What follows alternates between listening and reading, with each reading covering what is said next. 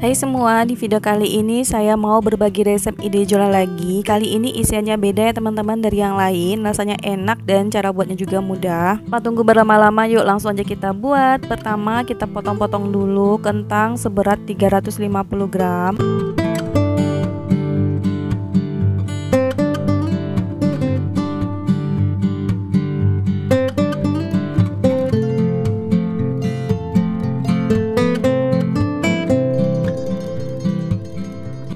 Kemudian kita rebus selama 10 menit.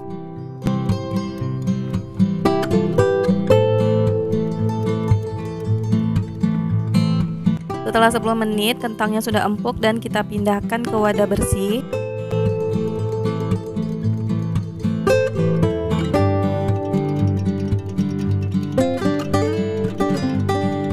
Dan kita haluskan dengan menggunakan gelas seperti ini. Oh iya, bagi teman-teman yang baru bergabung di channel ini, yuk bisa di subscribe dulu. Dan jangan lupa tekan tombol loncengnya juga supaya teman-teman tidak ketinggalan video-video kita berikutnya. Bagi yang udah, terima kasih banyak.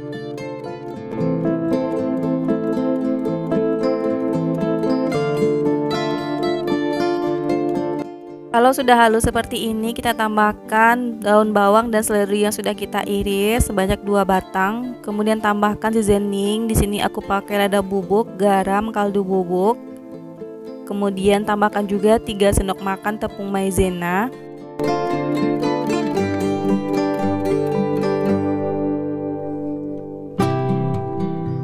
Kemudian kita aduk sebentar.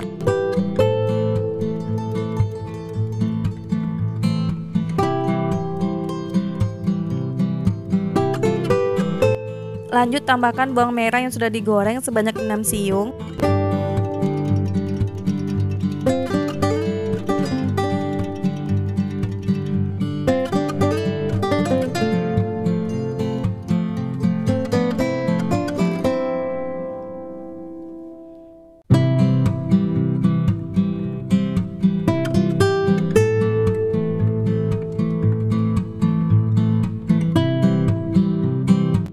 Nah, ini sudah tercampur rata ya teman-teman. Saatnya kita bentuk dan kita beri isian. Di sini aku pakai isiannya telur puyuh. Ambil satu setengah sendok adonan seperti ini, kemudian kita pipihkan dan isi dengan telur puyuh.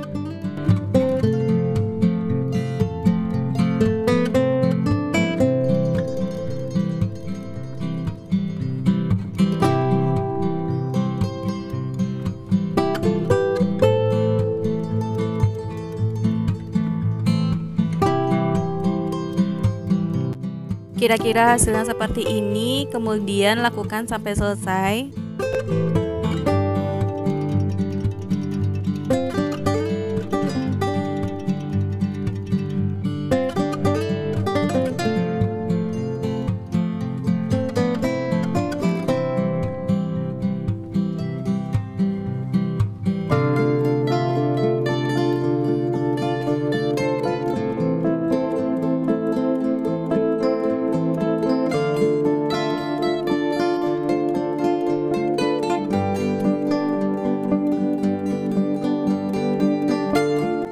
Ini sudah selesai kita beri isian. Satu resep ini menghasilkan 17 buah kroket telur puyuh.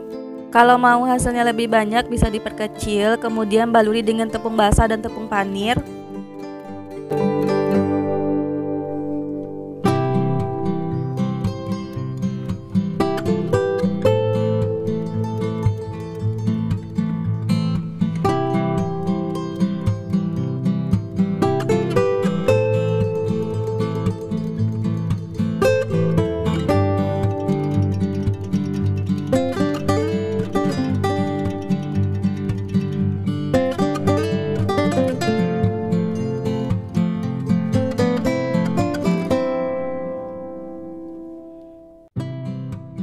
Nah kalau sudah selesai langsung aja kita goreng ya teman-teman. Kita goreng dengan minyak panas dan api sedang.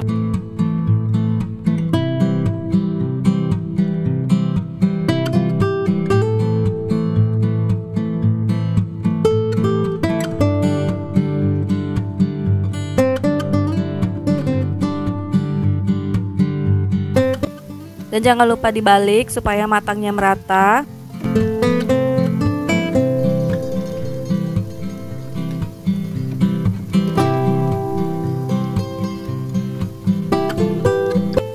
Dan kalau sudah golden brown seperti ini langsung aja diangkat dan tiriskan.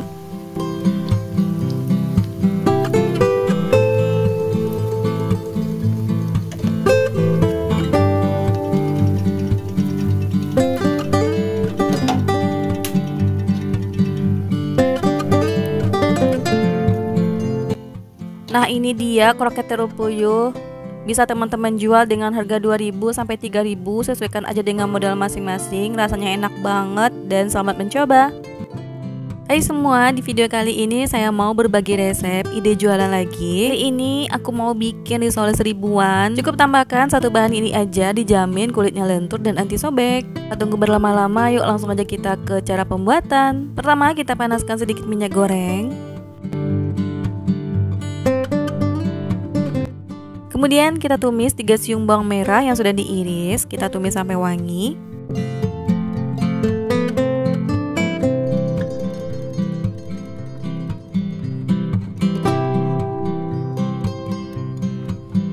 Setelah wangi kita masukkan 100 gram wortel yang sudah dikukus. Kira-kira ini kita pakai satu batang wortel ukuran besar ya teman-teman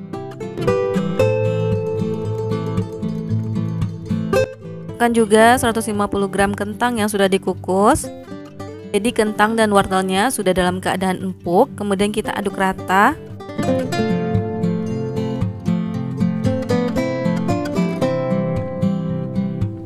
Selanjutnya kita tambahkan seasoning yaitu setengah sendok makan lada bubuk. Kemudian setengah sendok teh garam. Selanjutnya kita aduk rata. Supaya lebih creamy, kita tambahkan 200 ml larutan terigu. Ini kita aduk ya teman-teman, kita masak sampai mengental.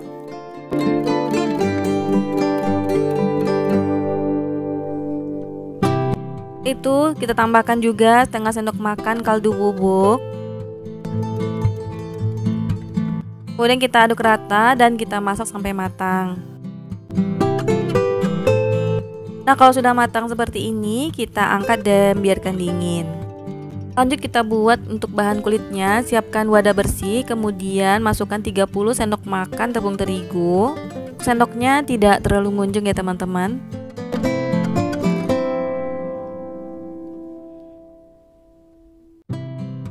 Makan juga 5 sendok makan tepung tapioka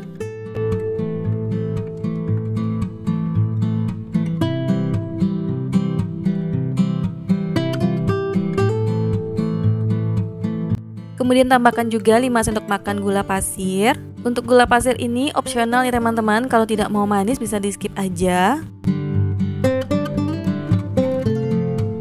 Kemudian tambahkan setengah sendok teh garam. Kemudian masukkan 700 ml air, kita masukkan bertahap sambil diaduk. Untuk banyaknya air sesuaikan aja dengan kelembaban tepung masing-masing. Kurang dari 700 ml ataupun bisa lebih. Kemudian kita aduk ya teman-teman. Oh iya bagi teman-teman yang baru bergabung di channel ini Yuk bisa di subscribe dulu dan jangan lupa tekan tombol loncengnya juga supaya teman-teman tidak ketinggalan video-video kita berikutnya. Bagi yang udah terima kasih banyak.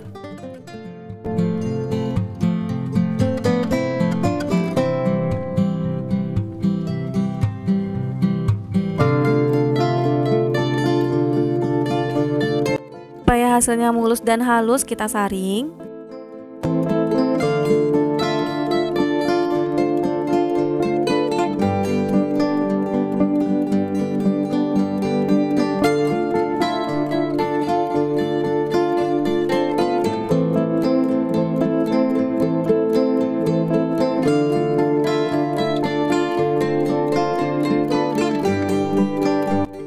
Setelah disaring, tambahkan satu butir telur suhu ruang.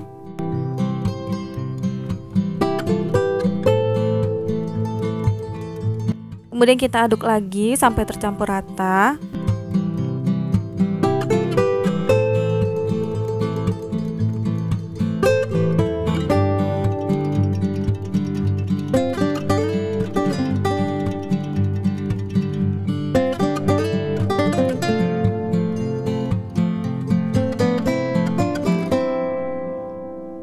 Setelah tercampur rata, kita tutup dan diamkan 30 menit sampai adonannya rileks. Untuk bahan selanjutnya, siapkan 7 sendok makan tepung terigu,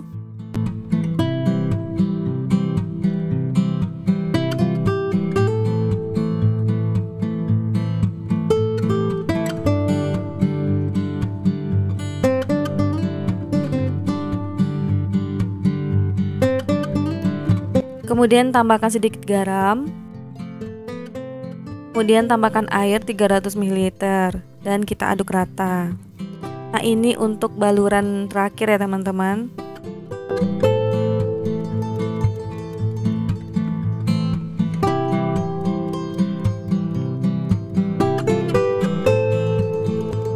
Kemudian kita tambahkan juga 250 gram tepung panir.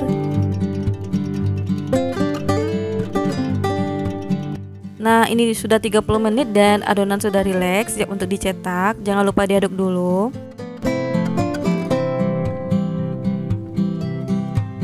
Kemudian kita panaskan teflon dan olesi minyak goreng tipis-tipis. Kita gunakan api kecil ya teman-teman.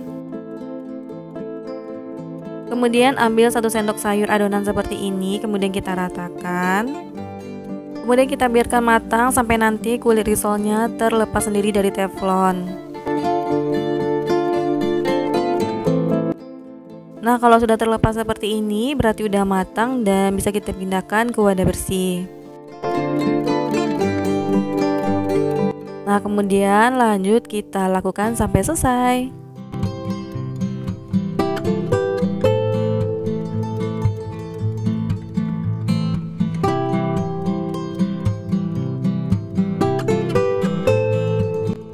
Nah, ini teman-teman bisa lihat sendiri kulitnya lentur dan anti sobek. Kalau teman-teman ikuti resepnya dari awal tanpa di skip, insya Allah akan berhasil 100%.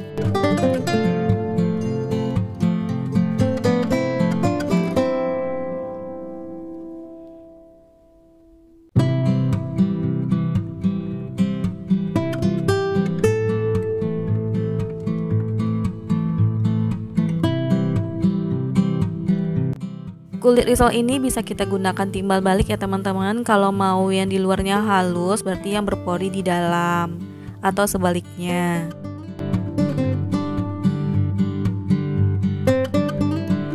Kemudian langsung aja kita isi dengan satu sendok adonan seperti ini. Dan kemudian kita lipat seperti yang ada di video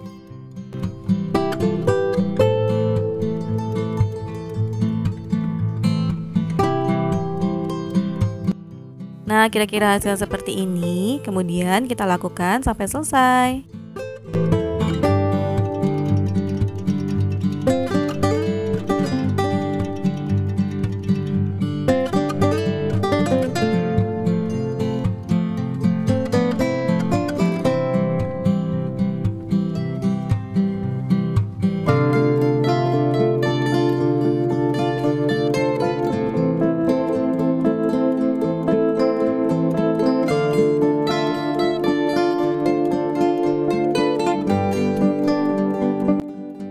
Kalau sudah selesai kita lipat, langsung aja kita baluri dengan tepung basah dan tepung panir.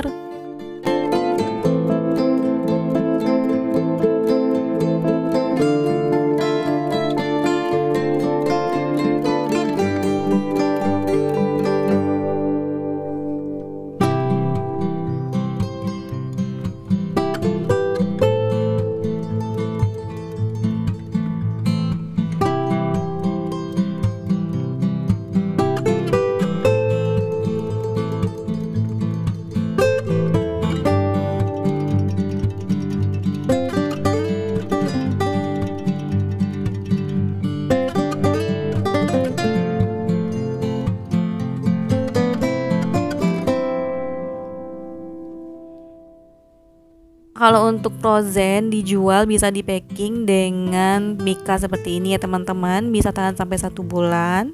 Asalkan disimpan di freezer dengan wadah yang tertutup. Nah sekian dulu ya teman-teman untuk resep di hari ini. Semoga teman-teman suka resepnya dan sampai jumpa di resep berikutnya. Assalamualaikum